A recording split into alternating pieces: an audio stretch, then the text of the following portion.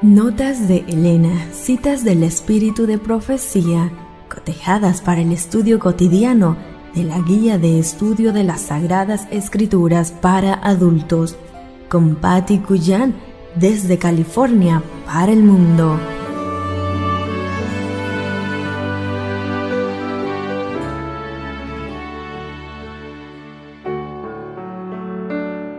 Hola, muy buenos días, qué gusto me da saludarte y saber que estamos juntos de nuevo. Qué grande y maravilloso es el amor de Dios, nunca se acaba, es infinito. Y una muestra de ello es que hoy nos permitió despertar y ver la luz de un nuevo día y un nuevo amanecer. Gracias por estar conmigo para juntos repasar notas de Elena para las lecciones de la escuela sabática Efesios. Domingo 30 de julio, titulado Pablo, el apóstol a los gentiles preso. El amor de Cristo, dijo Pablo, nos constriñe. Segunda de Corintios capítulo 5, versículo 14.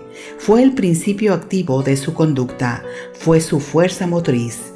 Si alguna vez flaqueaba el ardor en la senda del deber, una mirada a la cruz y al maravilloso amor de Cristo revelado en su sacrificio inigualable bastaba para ceñirse de nuevo los lomos de la mente y avanzar en la senda de la abnegación.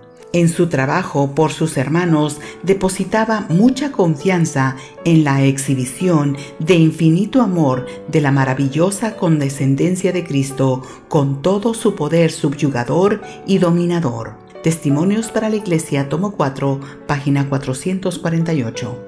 No es la voluntad de Dios que su pueblo esté abrumado por el peso de la congoja, pero tampoco nos engaña, no, nos dice, no temáis, no hay peligros en vuestro camino. Él sabe que hay pruebas y peligros y nos trata con franqueza. No se propone sacar a su pueblo de en medio de este mundo de pecado y maldad, pero le ofrece un refugio que nunca falla.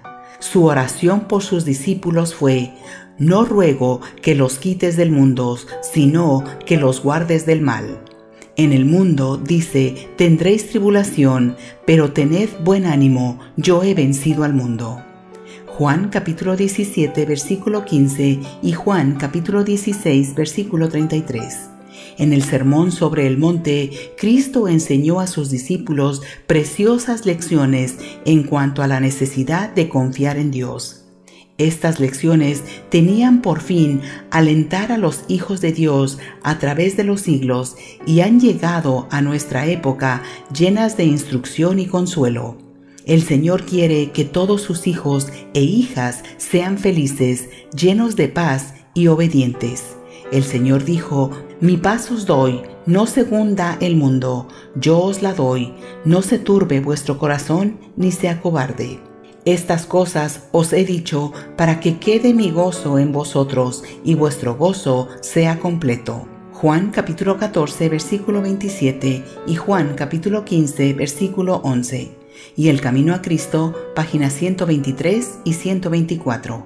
Dios no conduce nunca a sus hijos de otra manera que la que ellos elegirían si pudiesen ver el fin desde el principio y discernir la gloria del propósito que están cumpliendo como colaboradores suyos.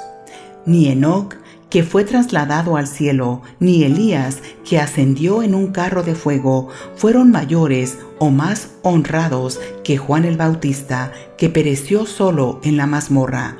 A vosotros es concedido por Cristo no solo que creáis en Él, sino también que padezcáis por Él.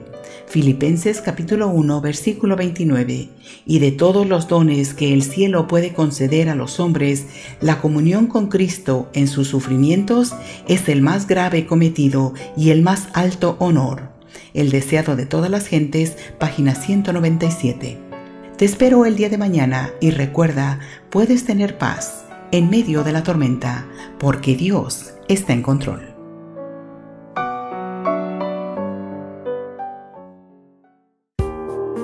Esta fue una presentación de Canaan Seven Day Adventist Church y DR Ministries. Escríbenos a d-ramos28 hotmail.com.